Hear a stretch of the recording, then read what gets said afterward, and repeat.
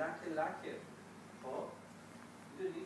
این خیلی خوشگل سند رو بیرون همش لکه باش خب، نگاه کنه بالا لکه نه با قرآن بفرستیده با لکه حالا داری فرمش قرآن می‌زنی می‌دونی چی میگم؟ حالا این سرده میگه